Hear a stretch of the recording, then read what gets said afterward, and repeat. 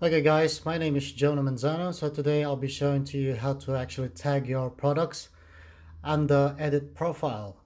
Uh, currently it's actually um, available to tag your products uh, with your videos, photos and all that. But I'm not quite sure why it's under edit profile. Not sure if this is new. If it, if it is, then it's good. Um, as you can see on my profile, under my profile, you can see all the tag that I actually tag, which are the music that I actually created. Of course, before you do this, uh, you gotta have your Instagram shop set up already.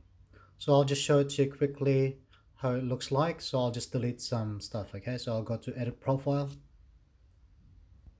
So it should be under bio.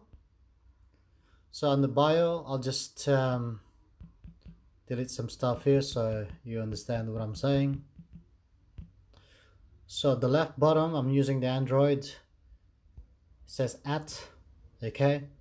You can actually tag people here, which is quite normal. And then the right uh, section tab bottom, it says products. See, I'm not sure if this was here before, but if, if it was, then good.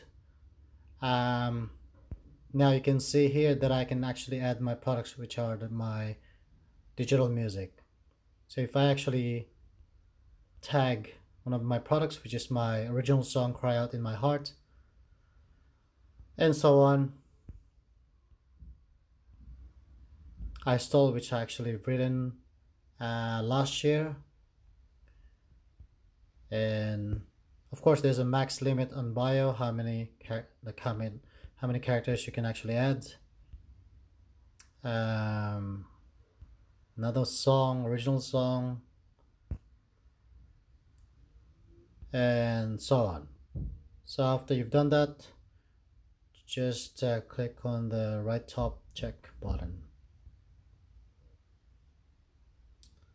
And there you have it. Then let's check again.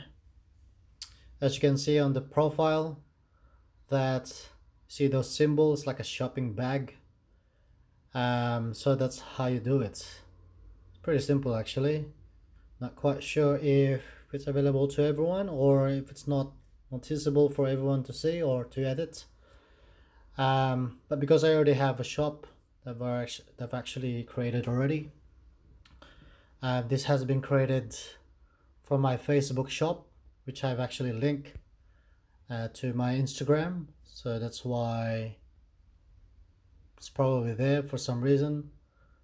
Uh, see my products here that is connect I have 10 products so far my cover music and my original songs.